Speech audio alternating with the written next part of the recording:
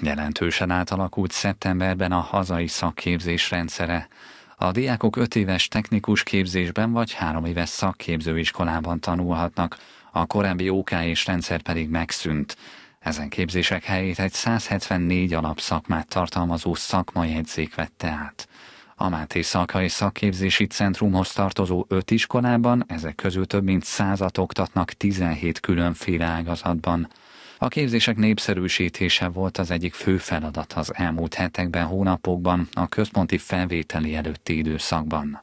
Mivel a járványhelyzet miatt a figyelemfelkeltés információ áramlás formája is megváltozott, az intézményeknek is alkalmazkodniuk kellett ehhez.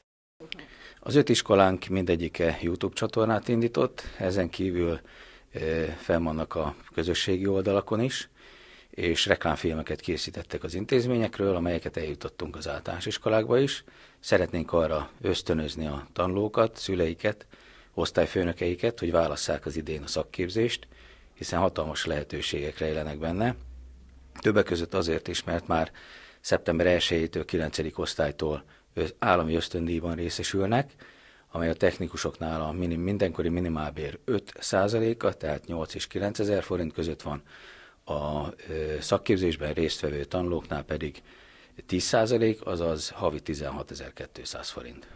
A kínálat széles a centrum intézményeiben, a lányok körében a legnépszerűbbek a szépészethez kötődő képzések, míg a fiúk közül sokan választják az informatikát, a gépészet és autós szakmákat. A főigazgató szerint elsősorban a keresett szakembereket képző szakmák oktatását támogatják.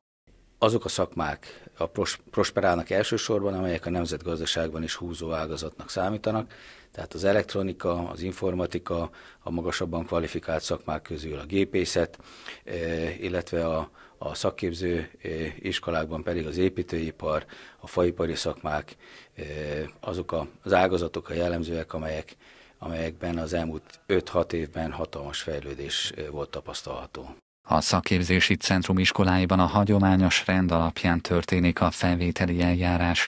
A központi írásbelékre most szombaton kerül sor, külön felvételit azonban nem tartanak az intézményekben.